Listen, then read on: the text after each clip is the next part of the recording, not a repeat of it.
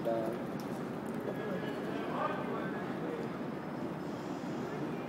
My dog made big crap. My mom has a uh, three pound dog that's 14 years old. It's crazy. That would never grew.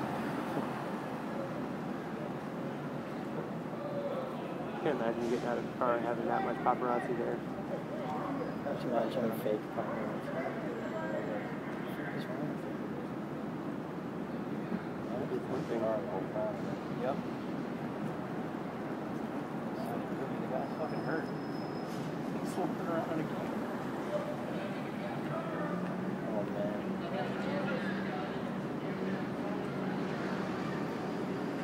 So those guys in the red tuxes are like in the shoot.